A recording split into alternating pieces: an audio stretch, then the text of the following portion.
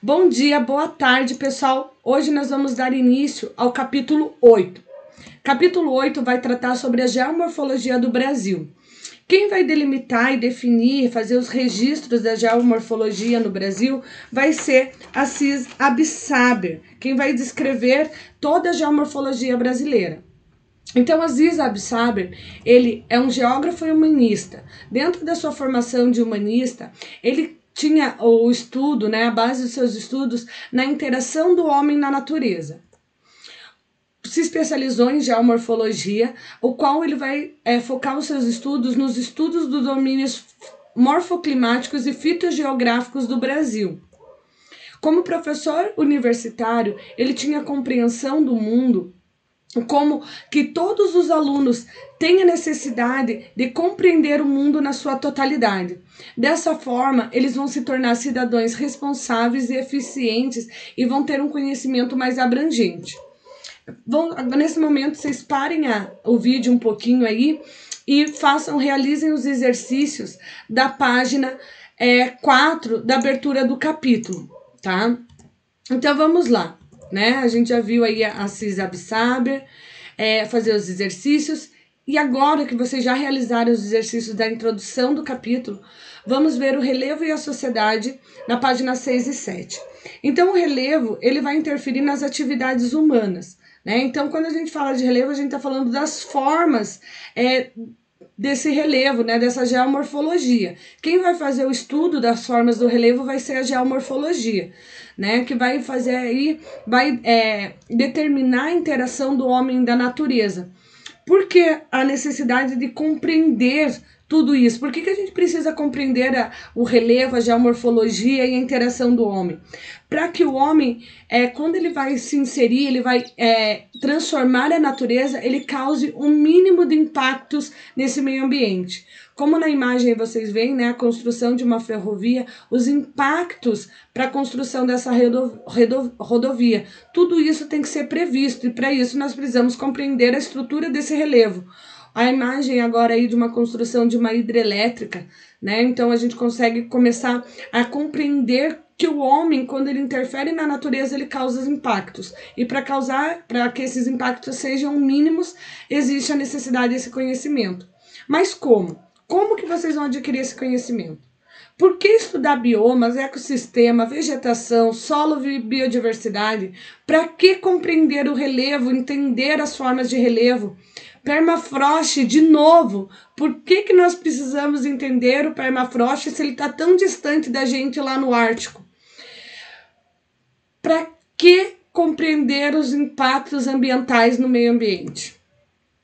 para que a gente faça uma interação sustentável, aproveitando o espaço de forma mais eficiente, integrada ao meio ambiente, visando atender às nossas próprias necessidades, as necessidades do ser humano, da urbanização, de produção de comida, infinidade das suas, das suas necessidades, gerando o mínimo de impacto possível ao meio ambiente.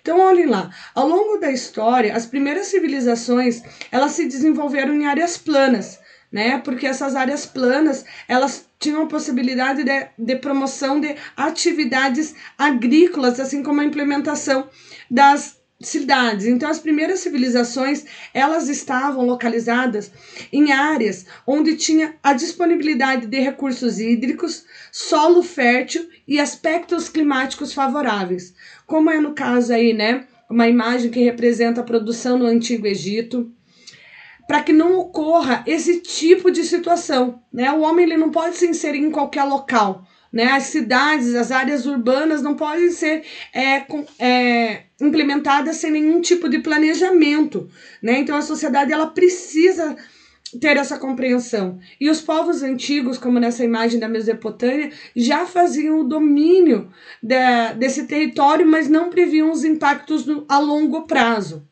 Né? Então, as primeiras civilizações aí que surgiram foram em áreas planas, próximas aos rios, como vocês podem ver na imagem da Mesopotâmia. Né? Então, as primeiras civilizações, além da, do solo plano, além da, do solo fértil, se vocês perceberem, elas estão localizadas nas áreas próximas à linha do Equador. Por quê? Em virtude do clima mais ameno que favorecia a agricultura e a pecuária.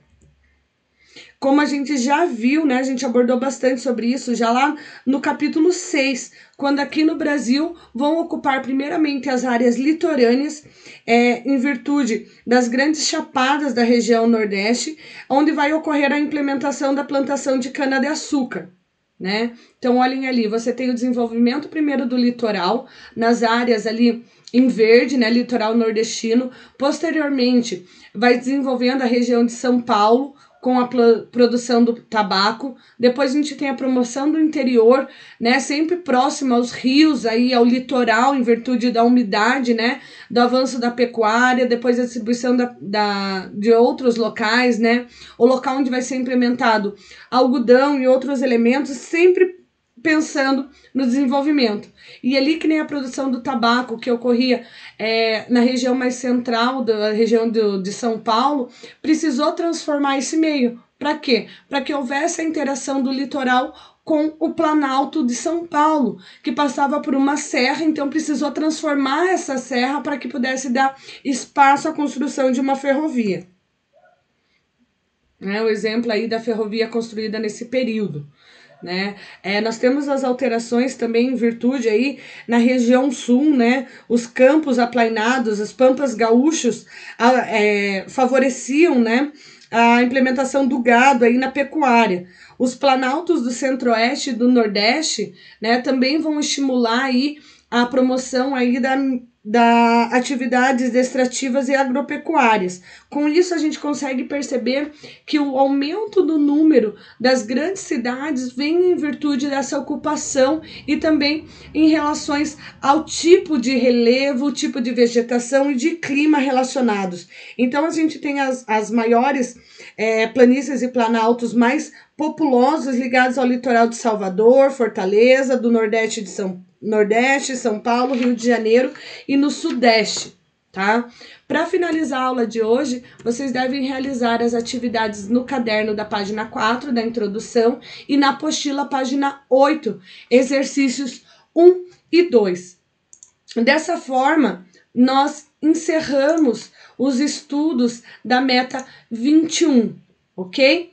Pessoal, uma boa sexta-feira. Até a semana que vem. Façam os exercícios. Na semana que vem a gente é, continua o capítulo 8 e encerramos o conteúdo que vai ser abordado na avaliação formal de vocês. Na semana que vem eu disponibilizo o conteúdo na sua íntegra. Um beijo, bom final de semana e uma ótima sexta-feira para vocês.